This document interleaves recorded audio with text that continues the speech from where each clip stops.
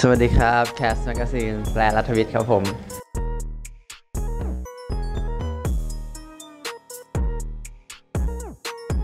รู้สึกดีใจฮะที่ยังใส่ๆได้อยู่ครับ แต่ความจริงผมก็ใส่อยู่แล้วละครับผม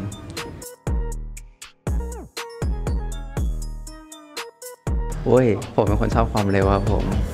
ผมกับน้องน้องชายผมเพื่อธนาพลคือแบบมิดไมล์ตลอดทุกทางด่วนครับผม ผมชอบอยู่แล้วฮะ racing racing ครับ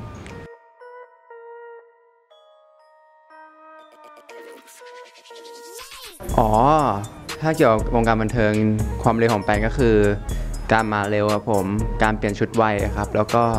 การทำงานให้ออกมาดีที่สุดโดยเวลาที่สั้นที่สุดครับผม ใช่ครับ เพราะว่า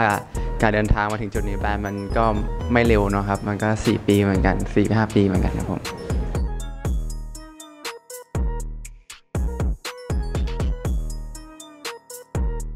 อยากจะตื่นเร็วขึ้นครับผมเพราะว่าเป็นคนนอนตื่นสายมากครับ ผมว่า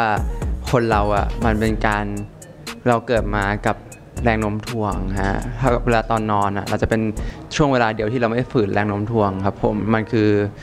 ธรรมชาติของมนุษย์นะฮะคนที่ตื่นเช้ามันคือคนที่ฝืนธรรมชาติมนุษย์ครับผม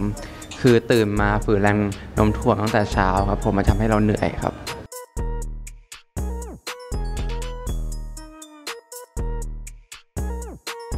ถ้าอยากให้คนที่เร็วไปกับผมนะฮะก็อยากให้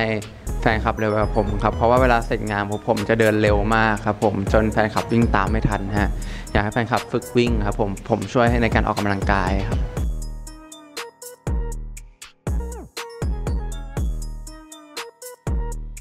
เป็นคนที่สามารถหยิบโทรศัพท์ขึ้นมาเล่นเกมได้ไวที่สุดเลยครับผมผมใช้เวลาประมาณ 3 วินาทีครับในการเปิดเกมครับผม แล้วก็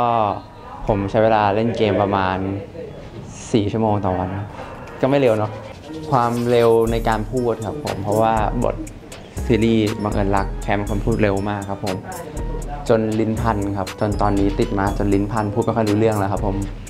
ใช่ครับ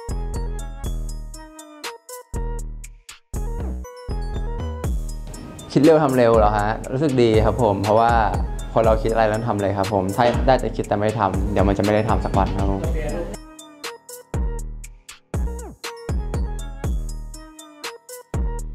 ครับผมตอนนี้ก็มีรับเชิญเขาว่าให้หนูเป็นสายลับนะครับของช่อง 3 ครับผมแล้วก็จะเร็วๆนี้ก็จะมีเทมเอเชียทัวร์นะฮะซึ่งไปมาแล้วประมาณ 3-4 ประเทศนะครับ และอีก 3 ประเทศก็คือจีนเวียดนามกับญี่ปุ่นครับผม